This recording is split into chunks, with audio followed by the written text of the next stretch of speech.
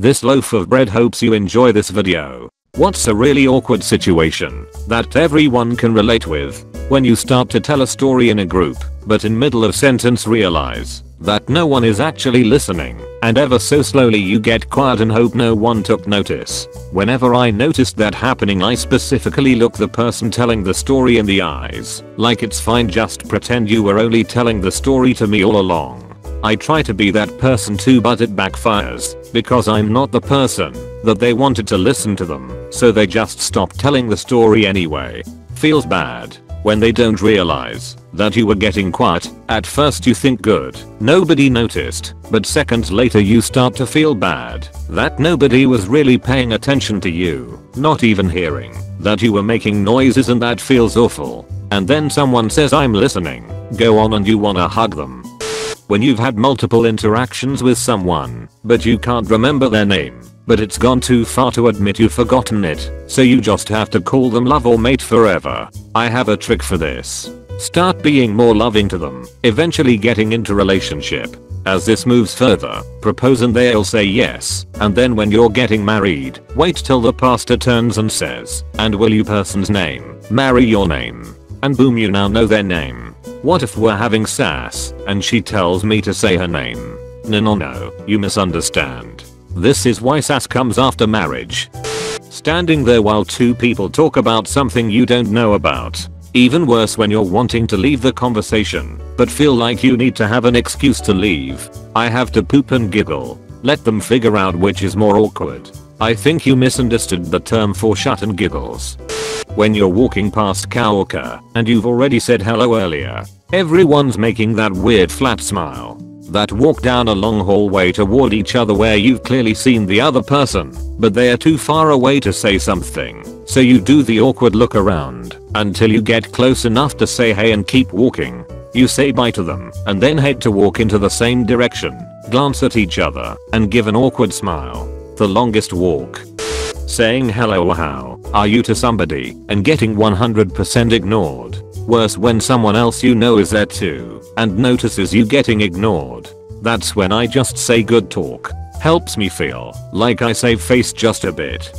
When you're finishing up at the checkout and the cashier puts the notes on top of the receipt and then coins on top of that. Then the next person steps up and you're fumbling, trying to disassemble the stack in your hand gather your shopping, say thanks and move away at the same time. In the UK it's extra sucky because you bag your groceries yourself. If you aren't quick enough you have to do all of what you mentioned as well as quickly finish the packing while everyone stares at you waiting for you to hurry. When I was a cashier I made it a point to hand them their coin, wait, hand them their currency, and unless requested otherwise, I would put the receipt in the bag for this very reason.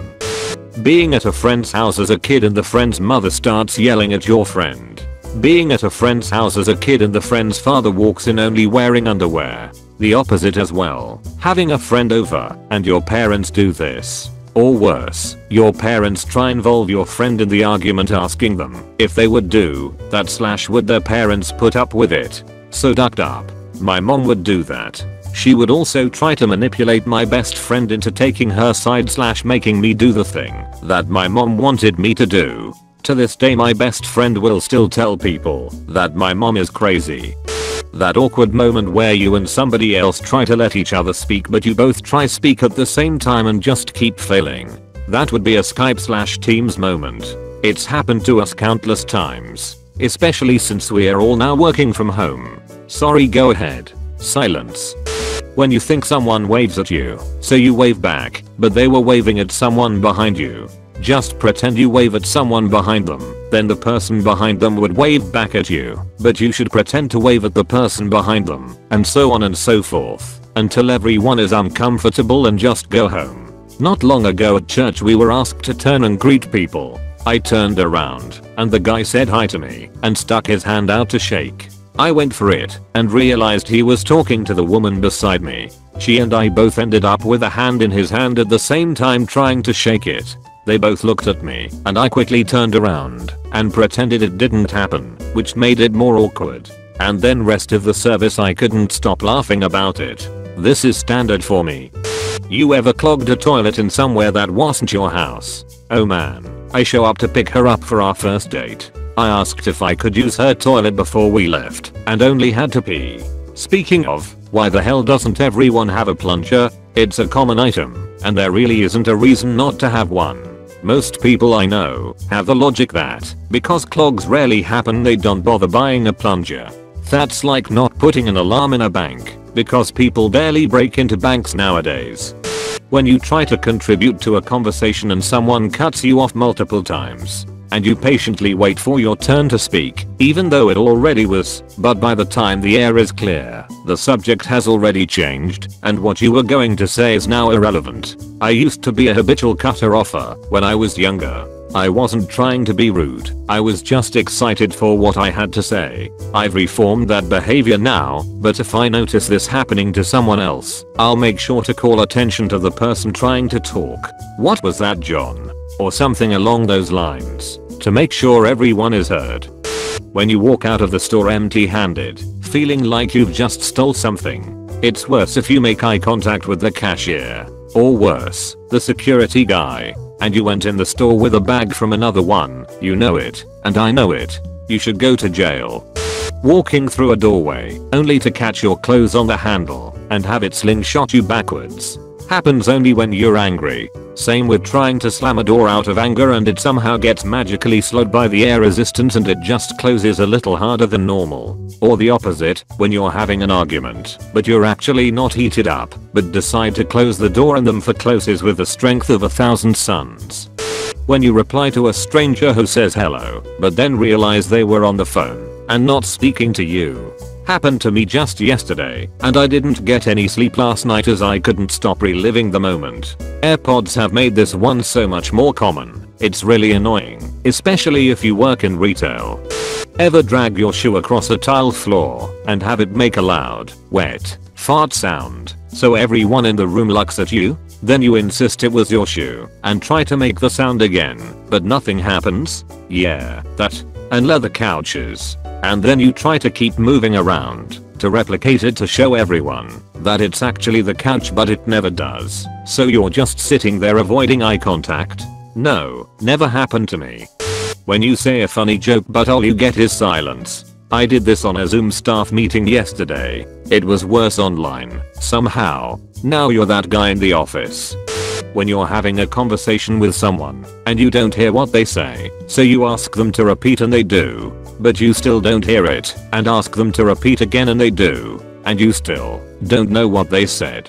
Do you ask them to repeat again and maybe still not hear it? Pretend you heard it and nod your head and hope it's an appropriate response? Stab yourself in the eye with a pen to create a diversion and change the subject? Just laugh, say yeah and hope they didn't just tell you their dad just died. Haha, yeah. Being called on to answer a question you really have no idea how to answer. I used to just say I don't know. Can't speak for you, but whenever I said I don't know my teachers would go on a rant and say something like why don't you know, you should know, or the old classic at least try. And then when I try, I say something stupid and everyone starts laughing, and the teacher says that's not right. God bless I'm not in school anymore. When you're walking and almost trip for no reason and look back at the invisible stick that you tripped on when you go for a hug, but the other person goes for a handshake, so you start with a handshake, but do a weird hug at the same time with your hands in each other's crotches. I just skip all that and go right for the crotch. When someone asks what's going on, and you respond good, you? How are you? I'm fine. What about you? Great. You? The fake smile on your face when you receive a terrible gift Wanted the Smash Mouth CD with All Star on it when I was a kid. My aunt wound up getting me the Len CD with Steal My Sunshine on it. Apparently I hadn't heard the song yet back then, even though it was all over the radio. My disappointment was immeasurable and my day was ruined. I faked a half smile. Decades later I love Steal My Sunshine and I should have been happy. Watching a sass scene with your parents. Visited my aunt and uncle 7 years ago, and we were hanging out watching TV. My uncle clicks through channels and stops on Harold and Kumar Escape from Guantanamo Bay. Within minutes it's the shaved kitty party scene. My aunt and uncle sit there in silence watching not saying anything until the scene is over while I sweat bullets. If you put an acorn between my butt cheeks I could have cracked it. A few months ago I visit again. Uncle flips through channels. It's Starship Troopers. Within minutes it's a sass scene and the book is a out. I'm not visiting anymore. Someone showing everyone in the group something on their phone and waiting until it is your turn. Even worse if it never makes it to you and you have to pretend you're not secretly dying to know what it is. When you're walking on a sidewalk with two other friends and you're the person that does not fit, so you have to stay behind them. When you're walking behind someone that has a slightly slower pace than you, so you start to pass them, but then have that awkward moment when you're walking next to them before you cut in front of them. Having happy birthday sung to you. When you're on a public bathroom and someone tries to open the door even though it's locked. The worst is when you say it's occupied and then they try opening it even harder. Or when they gaze at you through the 1 centimeter gap between the door and partition. I never lock the door. This is a great way to meet new people.